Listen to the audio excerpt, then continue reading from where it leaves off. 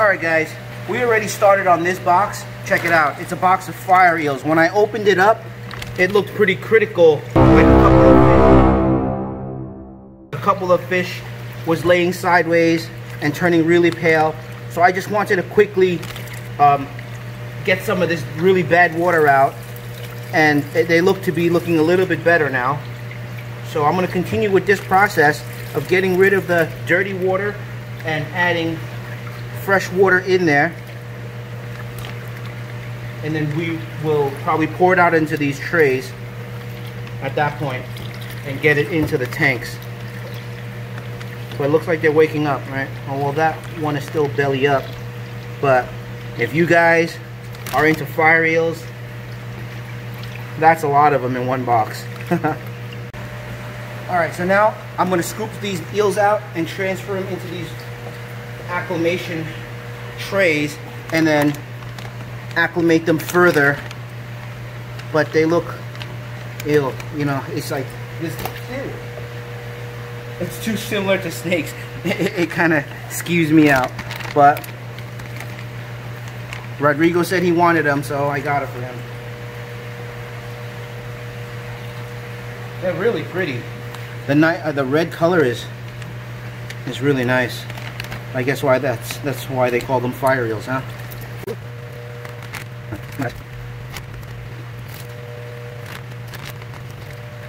They've woken up nicely. Look, they're very active now. Hmm. Now look at the color of this one. You see the red spots? Oh, this one's really red. Look at that. That's really nice. Alright guys, so anyone want fire eels? Here they are. Are you afraid to touch them? I'm not gonna touch it. You're not gonna touch it? We need Michael here to touch it, right? Okay, so while that's acclimating, let's work on the next box. What do we got here? Ooh, these are the giant barbs. Um, they're originally from Thailand, and uh, I think it's like the biggest barb in the world. Um, this is when we went to Thailand. Uh, what actually, at the time when I went to Thailand with Rodrigo and Lisa, and we went fishing. This was that that fish that we caught. It uh, they get like humongous. Uh, let's see. But of course, these are just tiny little babies. You rarely see these available in the U.S. Ooh, some of them don't look too good. This one's no good. Okay, this one. So the ammonia seems pretty high in here. Let's get rid of some of this water. Yeah, I can smell it. It really stinks. Yeah, we lost a bunch.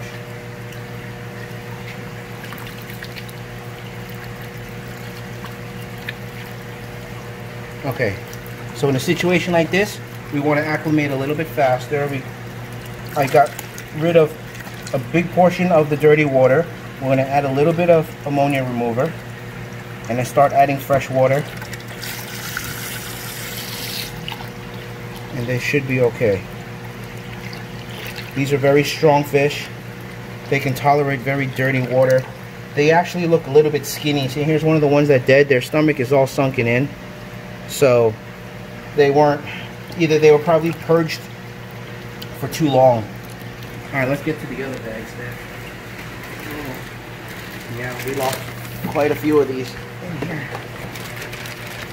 Let's throw away some of this dirty water. Because I don't want to all of a sudden dump all this toxic water back into that partially clean water. So I already see a bunch of them dead in here, so don't be too upset. I mean, this guys, this is part of the import process.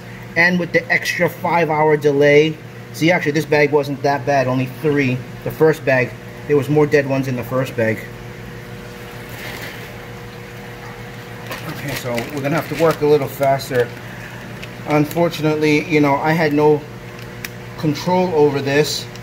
And uh, the airlines being slow really... Uh, took a toll on these guys. But we'll do our best to bring them back to good health for you guys. I can see this water is really dirty in this one.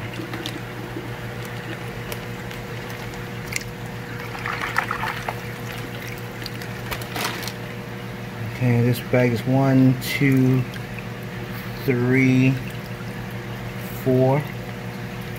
Oh, that one's still alive. Four. Also three.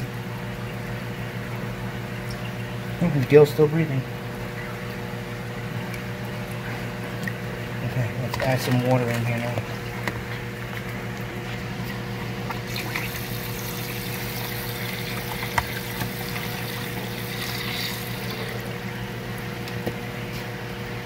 This one's got to be done. And this one's dead. And I think this one.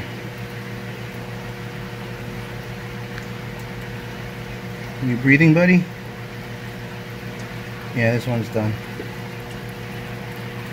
That one's alive. Okay, one more bag. Now this bag, the water looks much cleaner, so I think we'll be okay with this bag.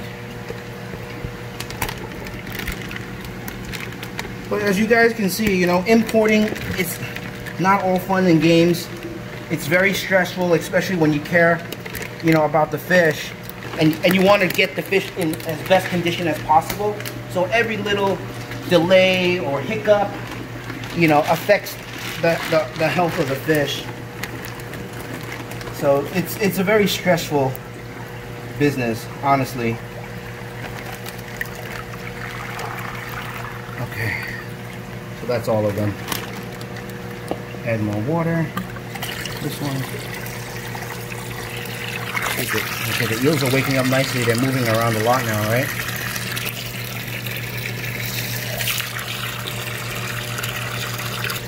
I know you guys at home are thinking that's not a real acclimation process, but in a situation like this, we can't waste time. That's what it comes down to. All right. So we'll give these guys time to wake up and let's move on to the next box. It is now the next morning.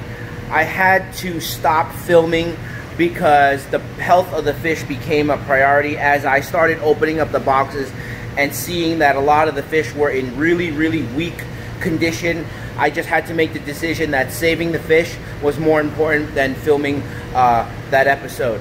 So I got everything in their tanks. Um, really long night. I didn't finish till like 5 in the morning.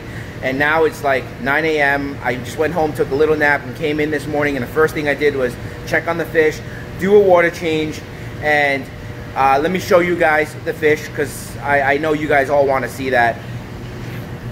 And everything has recovered quite nicely. We got some four and a half to five inch albino heckelii. Uh, there are the fire eels. You guys saw that earlier during acclimation. Um, they're all huddled up in the corner behind the sponge filter there. And I just did a water change as well. So they look okay. Let me show you these guys. They were very critical yesterday. The, the giant barbs. And they're looking good now. Let me get closer here so you guys can see a little bit better as well what we got in here. Oh, see, one didn't make it. And we also got these baby red-tailed cats. They are so cute. That is a short body albino sailfin pleco. We got a couple of pieces, not too many of those, and a lot of little red tail cats, baby, baby red tail cats. The tiniest, cutest little things I've ever seen. And uh, here, very nice colorful tank. We got the golden kelberis and they got the spider markings as well. Very good coloration, very, very gold. Probably some of the best that we've imported so far. And then, of course, we got this new type of Oscar. I don't even know what they call it. It's all red. Have you guys seen it before? I haven't. Really nice stuff. Um, still looking a little weak, some of the bass, but they should be recovering just fine. So now let's come over to the other side here. And of course, everyone's all-time favorite, albino silver arowanas. Now that's a whole mess of them. That's a lot in there. And they're a good size. I would say they're about uh, eight inches. I mean, there's a couple in there that's a little bit on the smaller side. So, uh, and then the biggest ones are about eight. But let's just say they're seven to eight inches. Very, very nice. And then for those of you who don't want bigger ones like that and want cute little ones to grow out, here are some baby ones. Baby albino silver arrows. Um, this is the first time we brought them in this size. I'm glad that we did because you know the smaller ones are a little bit more affordable for everybody. So for people who want to grow out or have a are starting out in a smaller tank, that will work very nicely for them. All right, so that's pretty much everything. So one last look at the whole collection of what we got in, but really nice. I would say that I made the right call last night to stop filming and get the fish into the tanks and get the job done. It was just too difficult to film and whatever. It was taking too long. But again, thank you guys for watching. Uh, I'm going to let these fish rest here for a day or two. And as, as soon as I see them looking much, much stronger and ready to ship again, I will be sending it on to Rodrigo at Predatory Fins. And then you guys can order the fish from there. But absolutely amazing fish. Nice.